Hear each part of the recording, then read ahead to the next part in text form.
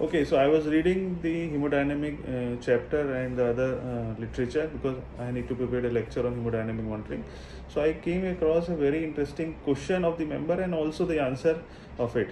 The member has asked that, sir, what do you mean by fluid responsiveness in a patient? So the only accepted definition is increase in your cardiac output or stroke volume by 10 to 15 percent by giving a fluid challenge. That means the patient is fluid responsiveness.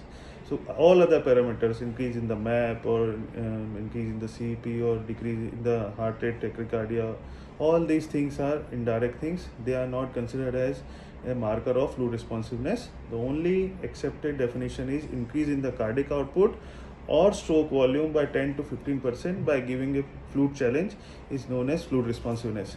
We'll see in detail in the hemodynamic class which we are planning. Thank you.